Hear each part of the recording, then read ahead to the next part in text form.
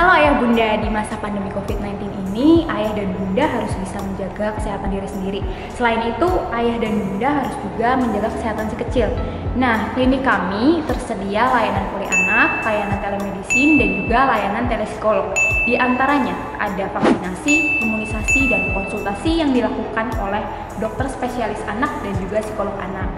Nah, klinik kami beralamat di Jalan Tuparef nomor 34 Ruko 22A Sutawinangun Kedawung Cirebon atau ayah dan bunda bisa juga mengunjungi laman Instagram kami dan bisa klik link di bio.